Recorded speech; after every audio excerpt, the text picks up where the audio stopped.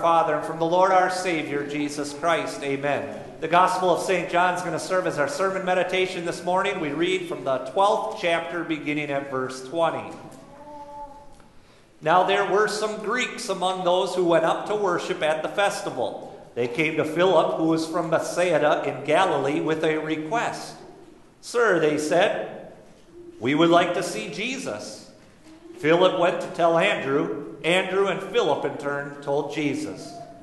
Jesus replied, The hour has come for the Son of Man to be glorified. Very truly, I tell you, unless a kernel of wheat falls to the ground and dies, it remains only a single seed. But if it dies, it produces many seeds. Anyone who loves their life will lose it, while anyone who hates their life in this world will keep it for eternal life. Whoever serves me must follow me, and where I am, my servant also will be. My Father will honor the one who serves me. Now my soul is troubled, and what shall I say? Father, save me from this hour? No. It was for this very reason I came to this hour. Father, glorify your name. Then a voice came from heaven I have glorified it and will glorify it again. The crowd that was there and heard it said it had thundered. Others said an angel had spoken to him. Jesus said, This voice was for your benefit, not mine. Now is the time for judgment on this world. Now the prince of this world will be driven out. And I, when I am lifted up from the earth, will draw all people to myself. He said this to show the kind of death he was going to die. So far, the word of our Lord. Please be seated. In the name of God's Son, Jesus Christ, dear Christian friends, in 2004, then Senator Barack Obama was interviewed by a Christian news outlet, and the interviewer asked then Senator Barack Obama, Do you believe in sin? And he answered, Yeah, I do believe in sin. And the interviewer said, Well, how do you define sin? And he said this He said, Sin is being out of alignment with my values. Do you hear anything wrong with that answer? Sin is being out of alignment with my values. Well, what's the case with our values? Are our values ever in line with God's values? Do we have an inborn value system that's in line with God's value system? You can hear the slippery slope in that, can't you? Definition. When you go to the first term of his presidency, he campaigned on marriage between one man and one woman. But when the pendulum in our country began to sway the other side, and it was over 50% that then believed that same sex marriage was a legitimate marriage, the value system changed when he was running against, I believe, Mitt Romney, wasn't it, in his second term? Whoever he was running against. Then all of a sudden, his value system changed, and he said he's now for gay marriage. If sin is being out of alignment with our own personal values, heaven help us all. Because then we get to define and interpret what sin really is. And that's never a safe thing, considering the fact that we're all born with a value system that is outside of the alignment of God's will, which is immutable and changeless and cannot be tampered with, even though man tries to tamper with it.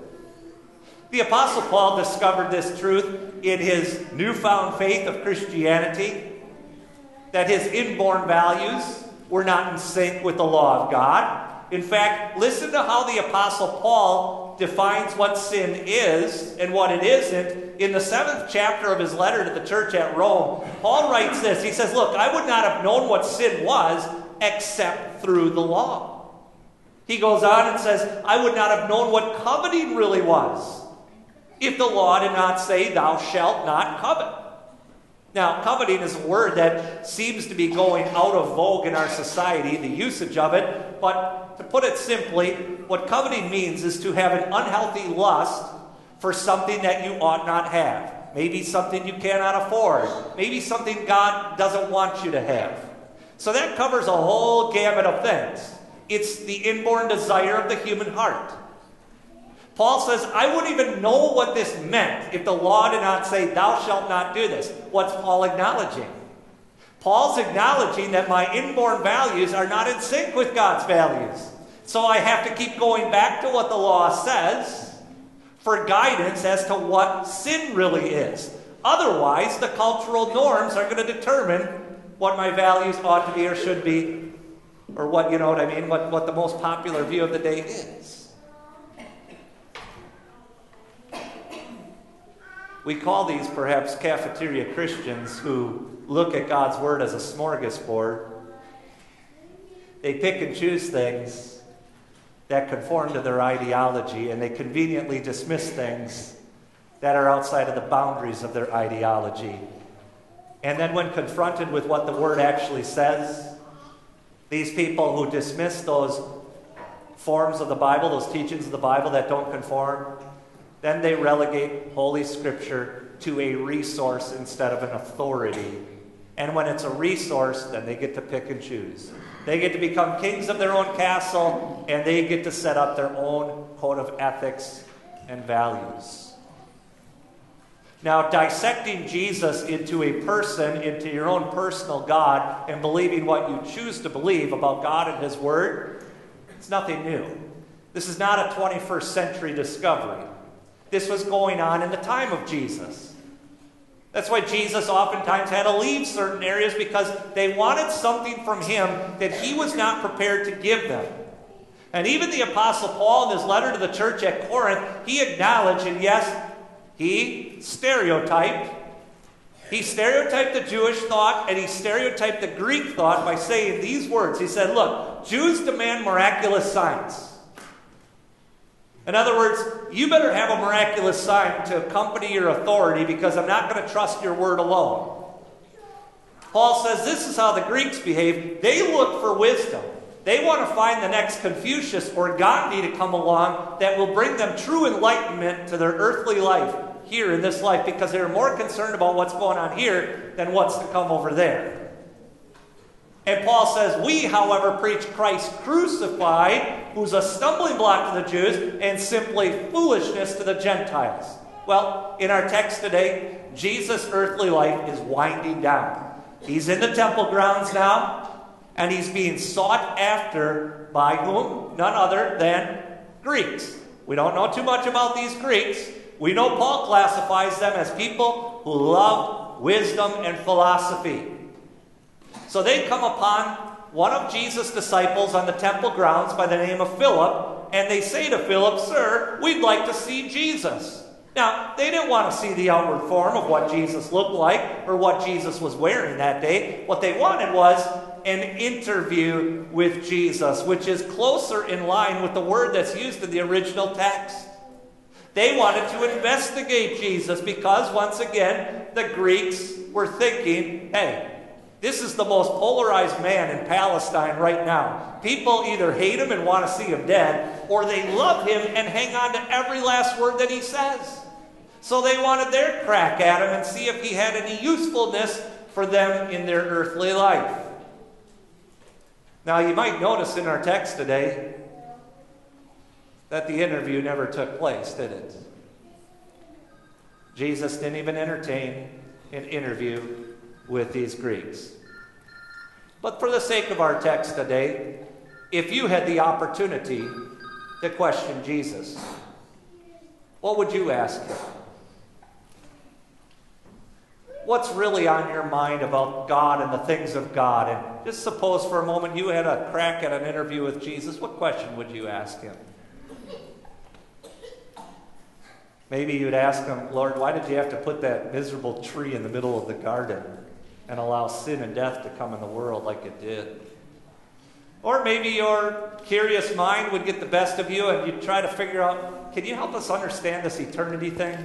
So you tell us in your word that you never had a beginning, but that you were always there. How can you always be somewhere when everything else has a time period, a beginning and an end.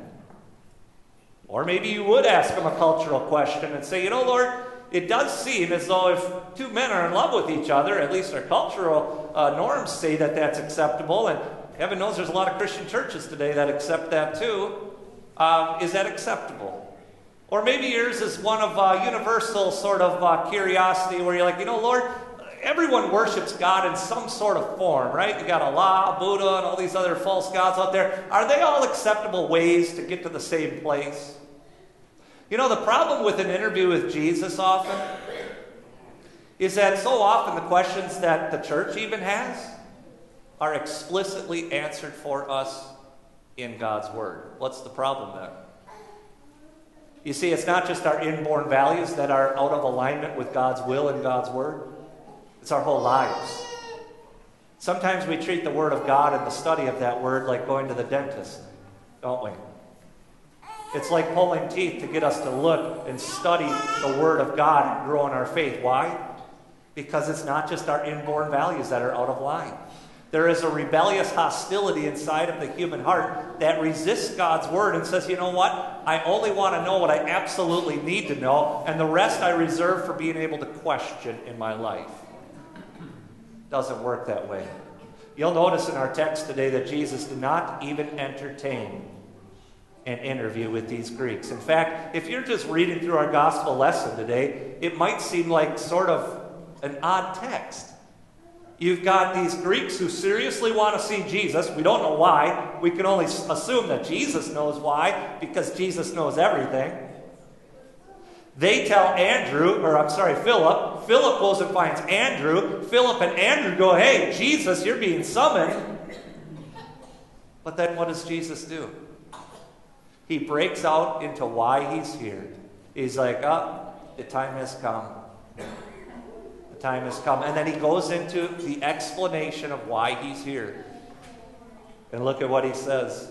Very truly, I tell you, unless a kernel of wheat falls to the ground and dies, it remains only a single seed. But if it dies, it produces many seeds. Now, Jesus, of course, is talking about himself there, and he's referring to his own death.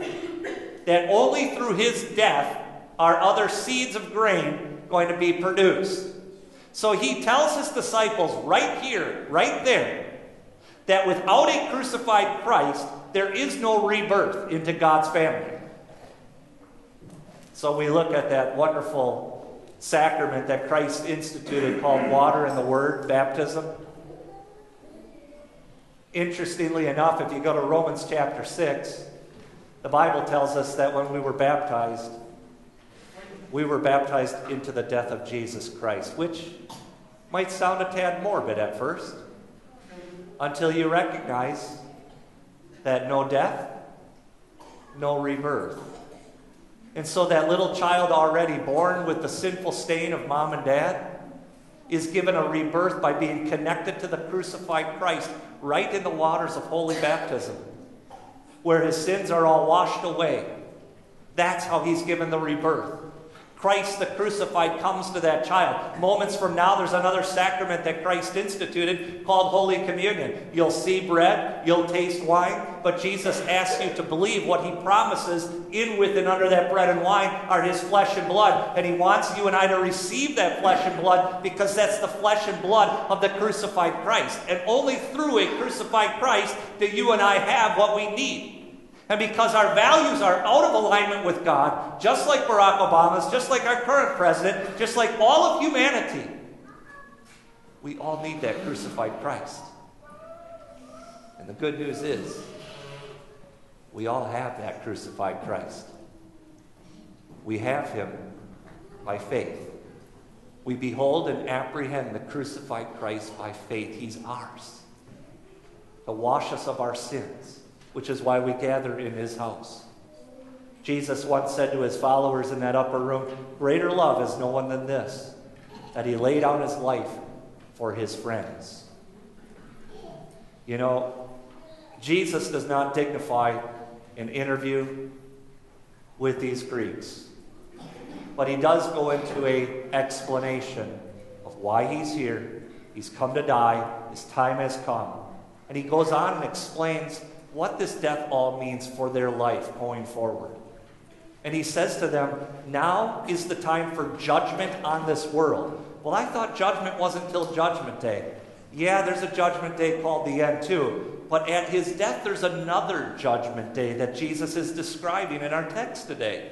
He says, Now is the time for judgment on this world. Now the prince of this world, which is the devil, will be driven out. But I, when I am lifted up from the earth, will draw all men to myself. He said this to show the kind of death he was going to die. So his crucifixion is going to draw all people to himself.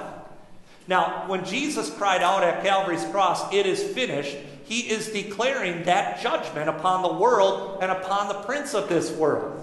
For what do we learn that Jesus did right after he died on that cross? We say it each week when we confess the Apostles' Creed that he descended into hell. What in the world was he doing there? Some people think that he was as part of the process of suffering. No, no, he wasn't suffering when he descended into hell. He created hell. He created it for the devil and his angels. He descended to that which he created to proclaim his victory. That's what Jesus is talking about when he says, Now is the time for judgment. Now is the time to drive out that prince of this world. You see, prior to the death of Jesus Christ, Satan had leverage over us with God. Satan could stand between you, me, and God and say, Hey, these people have values more in line with mine, God, than they do you. And could any of us deny that? No. But Jesus, as our substitute, has come to drive that devil out and cause him to release that stranglehold upon us. How did he do it? By bearing the sins of the whole world upon himself. He descends into hell to declare to Satan that you have now been driven out. Your power is rendered useless against God's people. And look what Jesus says through that holy cross that he dies upon, he will draw all people to himself. Think of those prophetic words of Jesus. He hadn't died yet, but here we are, 21st century, 2,000 years later, we are fulfilling prophetic words of the Lord Jesus Christ because why are we drawn here today? But to celebrate our rebirth that came through the crucified Christ, which is ours by faith and our privilege to proclaim to others. Amen. Please stand. May the peace of God, which surpasses all human understanding, may it guard and keep your hearts and minds through faith in Jesus. Amen.